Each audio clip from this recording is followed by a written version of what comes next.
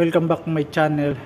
Now I'm showing you how to create load and use uh, user chart in Purono Ekdis.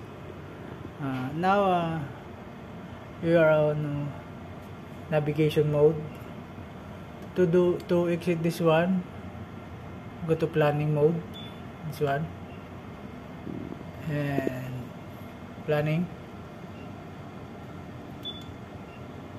user chart.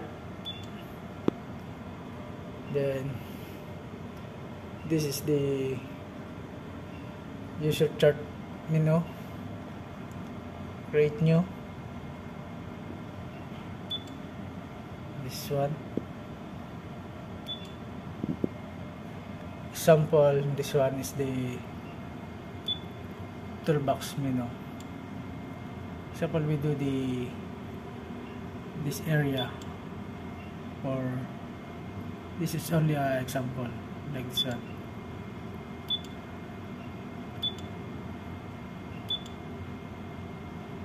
Then finish.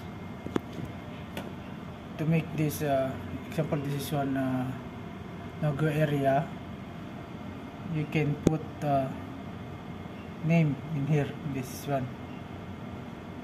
Logo area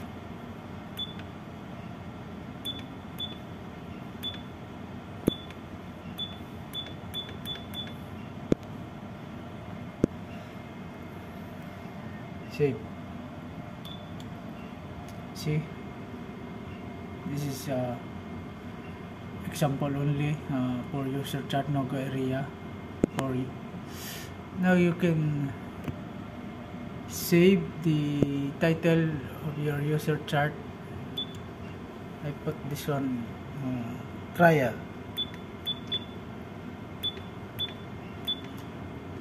Save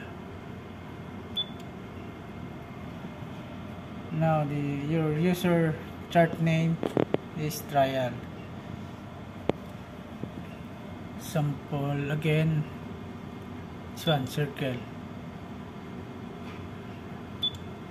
This is only an example. You can put uh, again contingency anchorage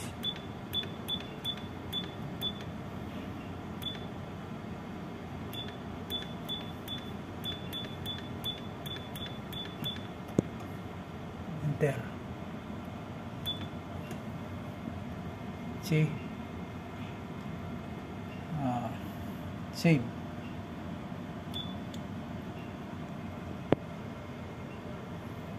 then to load this one you can first exit this uh, create user chart.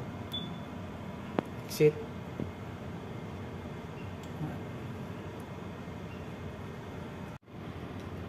now uh, we're going to load the user chart that we created before. First uh, you need to unload this route plan. And then go to planning mode. Select planning. Route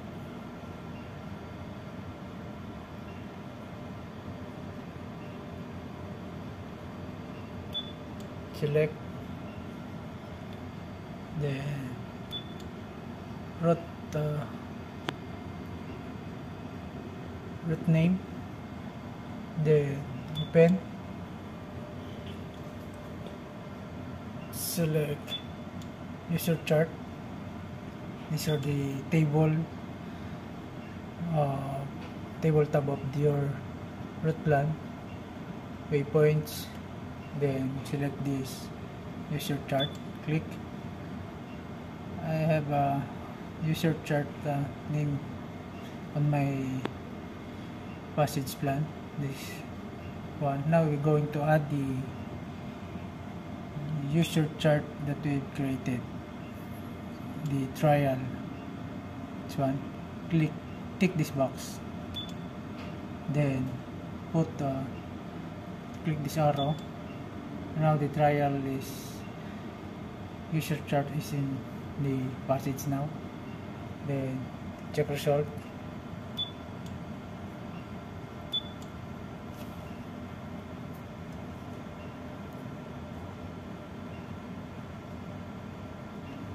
Then click save.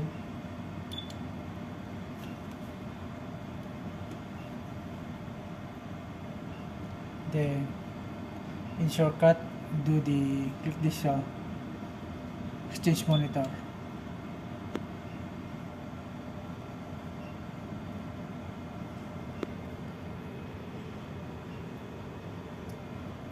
Now we're on uh, planning mode again.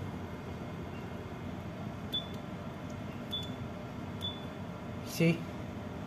The user chart is now load on our wage plan and that's it. Thank you. Now we're going to unload this example uh, trial user chart. To unload this one you need to uh, in shortcut this one uh, right box. Right click go to plan. This is a shortcut form now our waypoint is here then go back again to user chart. See? The link user chart is in here. Now take this trial to unload this one then click this arrow. Now this is the only user charts use in our passage plan. I take out this uh, trial user chart. Now this check result check route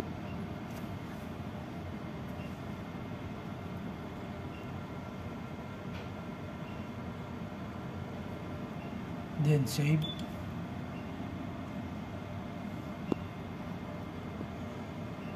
then exchange monitor.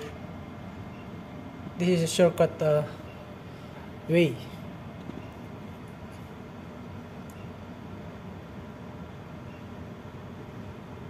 Now we're going back to planning uh, on Navi mode.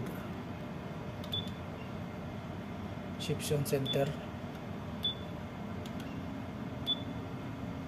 See the user chart uh, trial name is gun. And that's it. In easy way. Thank you